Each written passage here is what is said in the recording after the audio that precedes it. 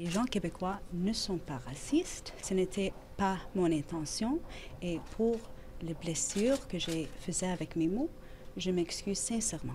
Je pense que ça démontre à quel point euh, c'est une personne euh, sensible qui est ouverte euh, aux préoccupations des autres, qui veut justement bâtir des ponts. Elle est la bonne personne pour le faire. M. Trudeau persiste à défendre une mauvaise décision. Il va vivre avec cette décision-là. Je pense que tout a été dit. Les excuses et une partie des réactions cette semaine à la nomination d'Amira El-Gawabi qui a dominé l'actualité à Ottawa et à Québec. Est-ce que le gouvernement Trudeau a sous-estimé la réaction que cette annonce allait avoir? Voyons voir ce qu'en pensent mes fidèles collaborateurs. Alec Castonguay est animateur de Midi Info à Ici Première. Chantal Hébert est chroniqueur au Toronto Star et magazine L'Actualité. Et Michel COG est analyste politique à la presse et Radio-Canada. Bonjour à vous trois. Bonjour. Chantal, est-ce qu'on avait sous-estimé ce qui s'est passé, la réaction que ça allait susciter? Est-ce qu'on avait mal vérifié le passé de Madame? Qu'est-ce qu'on comprend de ce qui est arrivé cette semaine? Euh, que vous êtes très généreux avec sous-estimé parce que ça voudrait dire qu'on s'est rendu compte de ce qu'on faisait. Euh, et normalement, euh, vous le savez comme moi, quand on nomme quelqu'un puis qu'on sait que quelque part il va y avoir un os, on prépare ses réponses en conséquence et on prépare les gens les plus susceptibles de se faire interroger en conséquence. Si Pablo Rodriguez avait été préparé euh, au genre de bagage euh, que, que, Madame apportait à son rôle, ça paraissait pas beaucoup. Non, il l'a bien caché. Bien, euh, il s'ennuyait. Ouais, parce que sa réaction, plutôt viscérale, n'est pas du tout dans ce sens-là. L'impression que ça donne, c'est un, on n'a pas fait de vérification à fond. Moi, je fais partie des gens qui ont tendance à croire que Justin Trudeau, oui, était au courant de l'espèce de chronique euh, mal ficelée euh, où on se servait à tort d'un sondage pour prétendre que tous ceux qui appuient la loi 21 sont islamophobes. Je pense qu'il était au courant de ça. Je suis pas convaincu qu'il était au courant du tweet où elle disait moi, ça me fait vomir quand on dit que les Canadiens français ont été maltraités, opprimés ou qui ont soumis ont été sujets à de la discrimination sous le règne britannique. Euh, j'ai l'impression, je, veux croire, vous me direz, que M. Trudeau, s'il avait connu cette citation-là, se serait dit, comme n'importe lequel d'entre nous, remplaçons Canadiens-Français par Autochtones. Est-ce qu'on engagerait quelqu'un comme ça, même après des excuses? La réponse est non. Ouais. Euh, Alec, un processus de validation, les partis politiques sont familiers avec ça. En campagne électorale, le candidat qui n'a aucune chance d'être élu, on valide son passé juste au cas. Comment est-ce qu'on a fait pour se rendre là? on en échappe aussi hein, dans les élections quand même, à chaque campagne. oui, mais il y a, plus de validation d'un coup. Là. exact. Il y en a 338 dans des circonscriptions parfois où on ne porte pas beaucoup d'attention.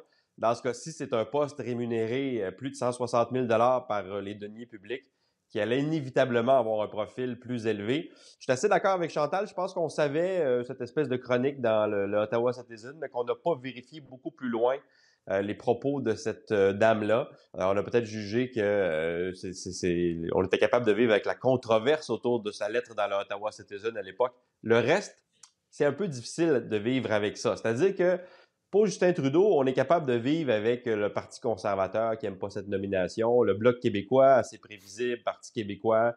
Bon, gouvernement Legault, ça fait un peu grincer des dents, mais on était capable de vivre avec. Parti libéral du Québec, déjà, ça fait un peu plus mal que le Parti libéral du Québec demande cette démission. Et ce qui a euh, causé le plus de remous, c'est à l'intérieur même du caucus de Justin Trudeau, son caucus du Québec n'était pas content de cette nomination-là. C'est une controverse dont ce serait bien passé. Donc, quand à l'interne, euh, on chauffe les oreilles du premier ministre et de son cabinet, parce que là, on en a clairement échappé une, ça fait en sorte que Justin Trudeau sort deux fois plus tôt qu'une sur un sujet relativement mineur, s'arrête devant les journalistes, commence à faire de la pédagogie sur la révolution tranquille québécoise, la différence entre la laïcité et tout ça. C'était très instructif.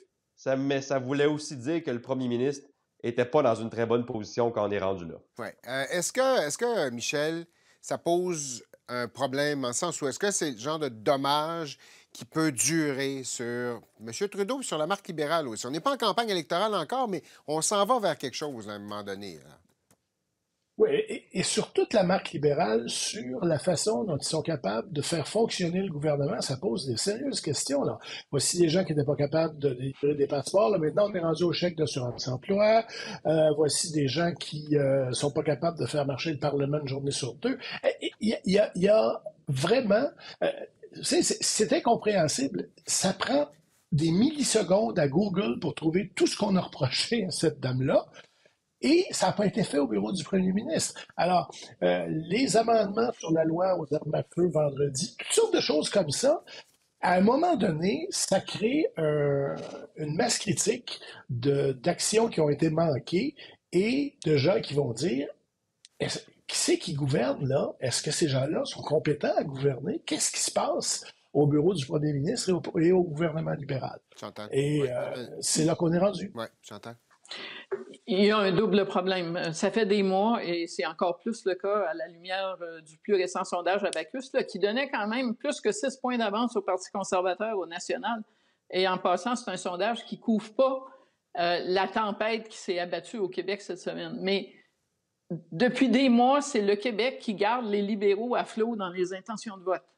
Si M. Trudeau ne se maintenait pas comme il se maintient au Québec, il serait encore plus loin dans la course euh, au pouvoir, dans les intentions de vote.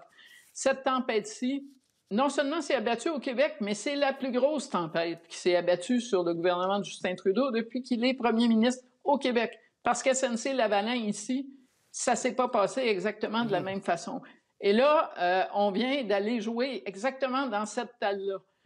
Premier problème. Deuxième problème, dans ce sondage dévastateur d'Abacus, on demandait aux gens, pensez-vous que le gouvernement s'occupe suffisamment du coût de la vie? 75% disent non. Ce que ça donne comme impression, une semaine passée à jouer du violon sur le front de l'islamophobie, c'est que l'opposition a raison, que ce gouvernement-là s'occupe pas de ce qu'on appelle, entre guillemets, des vraies affaires, mm-hmm. euh, et qui s'occupe de toutes sortes de choses qui sont inévitablement dans la marge pour la vaste majorité des électeurs. Puis là, ça vient consolider le narratif, le message des conservateurs de l'autre côté de la Chambre. Un mot rapidement, euh, Michel, puis ensuite Alex, sur euh, la pertinence du poste maintenant. Ça fait quoi, la dame? Parce que là, on n'a pas l'impression de vouloir la larguer. Il n'y a pas de signaux du côté du gouvernement qui nous dit on, va, on va la laisser aller tranquillement. Elle va rester en poste. En tout cas, M. Trudeau l'a dit trois fois plutôt qu'une.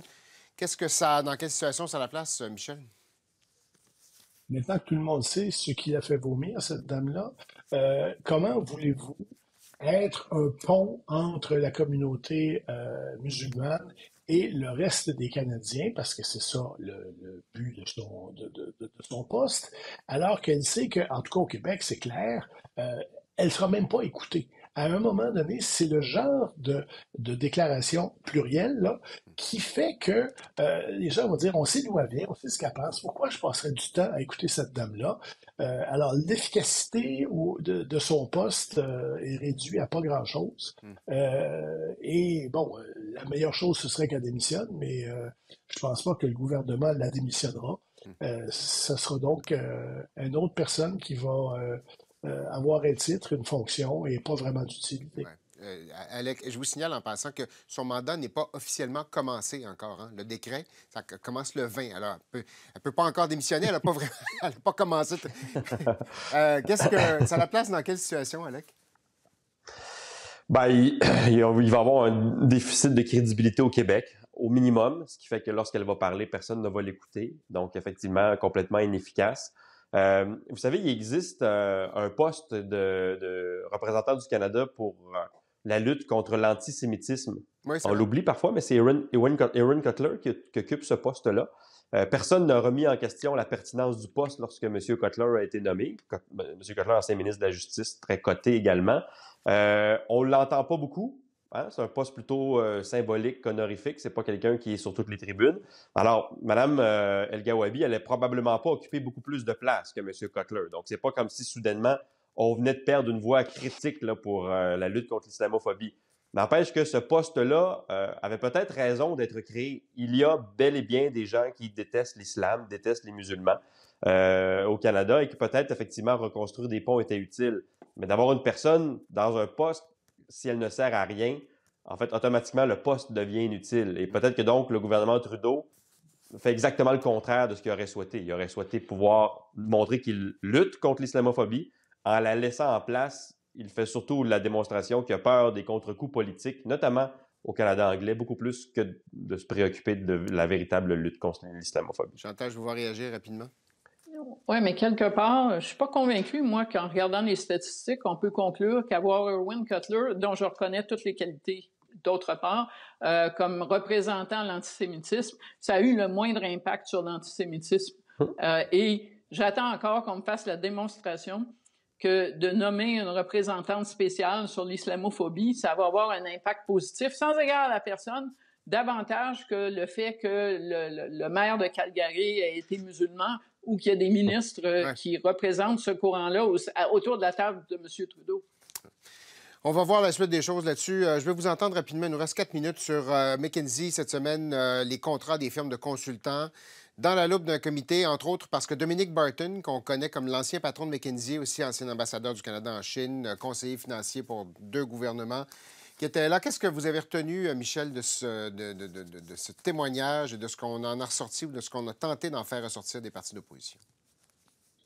que McKinsey, comme c'est le, mauvais élève, si vous voulez, des, firmes de consultants qui est dénoncé un peu partout en France et partout, euh, M. Barton a fait une relativement bonne job de dire Hey, je suis pas un ami de Justin Trudeau, on va pas à la pêche ensemble.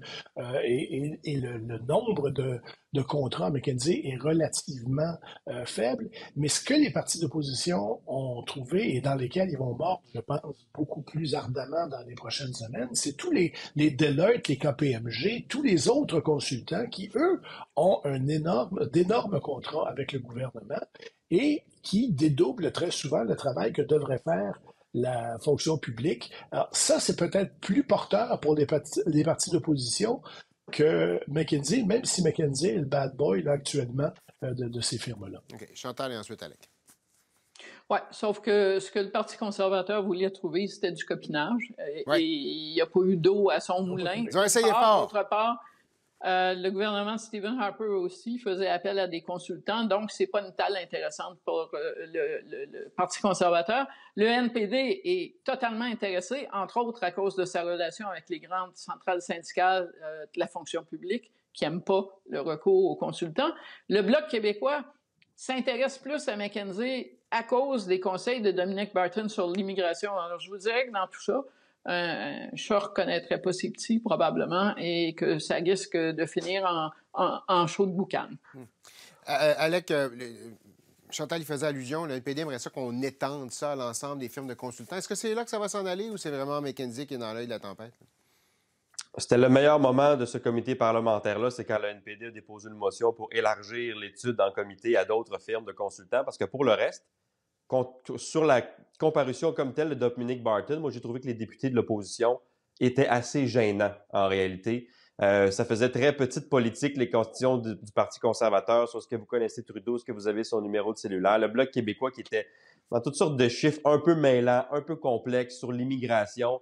Euh, on a essayé de marquer des points politiques pour tous les partis en étant chaque fois un peu à côté de la traque. Dominique Barton a eu le beau jeu de paraître comme celui qui, dans le fond, avait rien à se reprocher. Alors, vivement qu'on s'intéresse à l'ensemble de l'œuvre des firmes de consultants plutôt qu'à McKinsey parce que, mettons que la première journée ne nous a pas paru particulièrement euh, enrichissante sur, le, sur ce plan-là. c'est probablement pas terminé. D'ailleurs, la vérificatrice générale se penche aussi sur, sur les contrats accordés, voir s'il y a une valeur réelle pour l'appareil public là-dessus. C'est tout le temps qui nous reste. Alex, Chantal, Michel, merci infiniment. À la semaine prochaine. Au revoir. Au revoir.